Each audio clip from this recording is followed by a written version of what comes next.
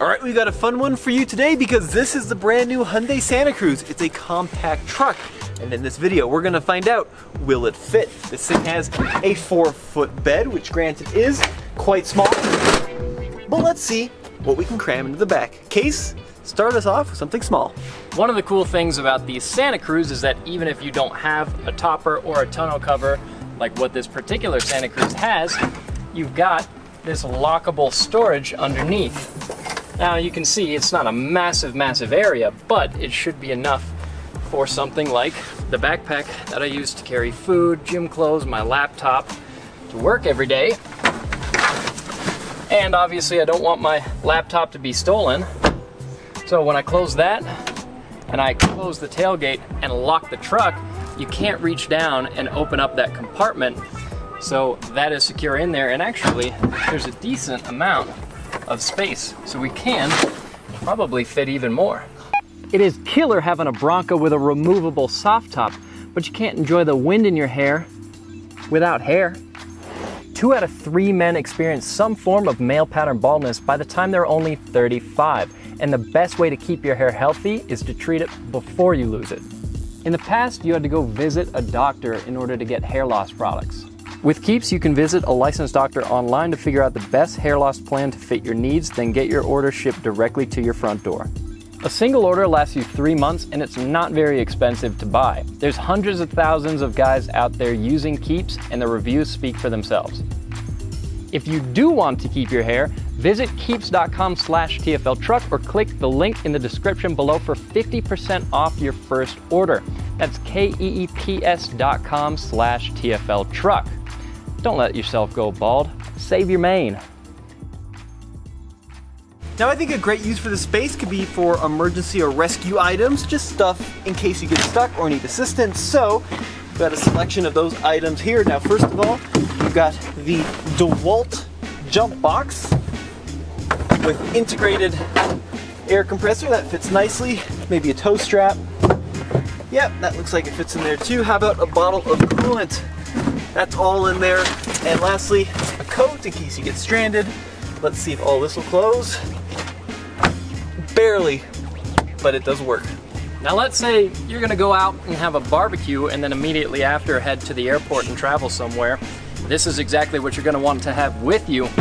Only problem is, this is obviously not a very deep storage section. So even though in terms of footprint, these two things fit, it's obviously not gonna close. However, it doesn't necessarily kill you at the crib because you don't actually need to bring a cooler. This compartment right here has a drain so you can throw ice in here, you can throw bevies and food in there and use this as a cooler. And of course, this trunk isn't the only bit of storage that we have. We've got the whole rest of the bed. So let's see what else can fit in the entire bed. So next up, we've got moving boxes, four of them here, two large, two medium, although they are all quite large. Let's see how these fit in the back of the Hyundai. Maybe put the two medium ones against the tonneau. Now the tonneau does actually take a quite a sizable amount of space. Problem there. Oh. Look at that. And just like that, our four moving boxes fit like a dream. Now, as I was mentioning, because this is a top spec limited, you will see that against the bulkhead, it's kind of this big, bulky, it almost looks like a container, but this is what the tonneau cover rolls into. And that probably takes up a good six inches, maybe even eight inches of bed space that you are sacrificing for that additional lockable storage. So you can either take it out or get one of these trucks without that if you want to use the maximum uh, available room. This right here is what Tommy calls the Cadillac of electric lawnmowers, and I'll give him this. It is actually a massive piece. I'm hoping I can, oh yeah. It's like, it's the Superleggera of uh, Cadillac lawnmowers. Let's see how this goes. Closing the tailgate. That's pretty easy. I'd say that's a perfect fit. All right. Well, Case has just come rolling in. Oh, yeah. The mighty Razor 500 quad. Let's see if this will fit in the bed of the Santa Cruz. Ready? One, two, three. Yeah, you definitely want to take this quad everywhere you go. Well, for obvious reasons. Let's see.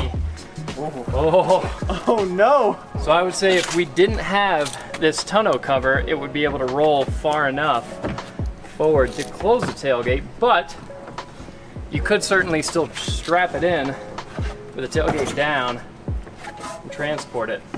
It looks like even at an angle, doesn't want to go. Yeah, not sure it's gonna happen. So, kind of a fail on the mighty Razor quad. But what about a bike? That's where we're gonna get a little creative. You ready? I'm gonna do a trick. Woo! It's getting to a stop. All right, now this is a, uh, a question that we've been wondering for quite some time. Can you put a bike over the tailgate of the Santa Cruz? Now, one rather interesting issue we found when attaching this tailgate protector was it's a little too big. Um, we've used this on mid-size and full-size trucks, but on the Santa Cruz, if you can see this, it pretty much blocks out the entire rear tail light because a lot of it continues on the tailgate itself. And then you just have this little itty bitty corner where you can kind of make out the turn signals and brake lights, but not super sure that this is all that safe. But let's see if the Schwinn will fit. I do apologize for not having a more professional bike on hand, but uh, this is what we had and this is what we're gonna work with. But it is a full-size Schwinn, believe it or not. And well, I would call that a win, but just barely. So you can see this rear tire is all the way up against the tonneau. Um, let me see if I can straighten it out at all. Yeah, not really. Maybe if you didn't have this bend in the frame.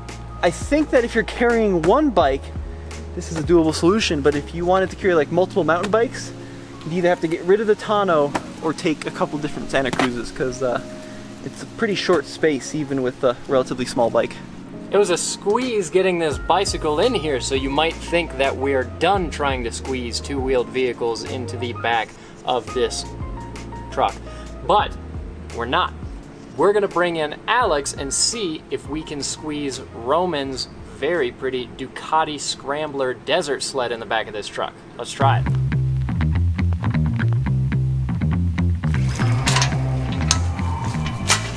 That bike looks bigger than this bed. Probably is. But hey, we've got vehicles. Might as well use them.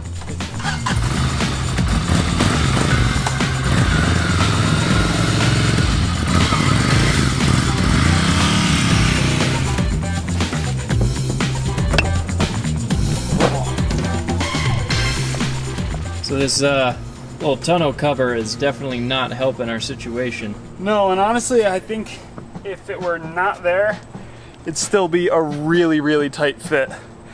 Why don't you go grab a tape measure? We'll know for sure. All right, so we got the handy TFL tape measure. That's official. So we're looking at about yeah 13 inches, and let's see, the center of the back wheel. Center of the back wheel is also about 13 inches. So even if that front tire was all the way up against the front of the bed, the back tire would just barely be on the tailgate. Definitely not at a comfortable spot for hauling this any distance at all. The usefulness of the Santa Cruz extends beyond its bed and its capability. You also have got a very large cubby here underneath the rear seat on the driver's side, and if we lift up the passenger side, well, this space is uh, taken up by the jack, but that is a nice deep cubby. Although the jack does remind me of something kind of unfortunate about the bed trunk in the Hyundai. Let's check that out. The spare tire on the Santa Cruz is not in the bed trunk. So on the Ridgeline, which also has a similar design, it goes much deeper and then the spare tire lives in the bed trunk. The downside of that is to change your spare, you have to pull everything out of the bed and then open up the bed trunk to get to the tire. Now on the Santa Cruz, it lives right there. Which is fine because that's where you'd find it on a traditional pickup, but unfortunately it's a donut, which is a little bit of a shame. A full-size spare would have been nice, but then you would sacrifice the bed trunk space, and then there's only so much space on the underside of a pick 'em up. So this is one of the coolest features on the Santa Cruz, the payload capacity 1,411. That is a astonishing amount of payload on not only a compact pickup, but any kind of pickup. I mean, that's that's pretty good even for a full-size class. Some of the full-size trucks we get have under a thousand pounds, 1,400 in the Santa Cruz. Now, is this a pickup truck? Well, I call it a pickup car because yes, it has a bed, but not really a truck, no body on frame, that kind of thing. Is it useful?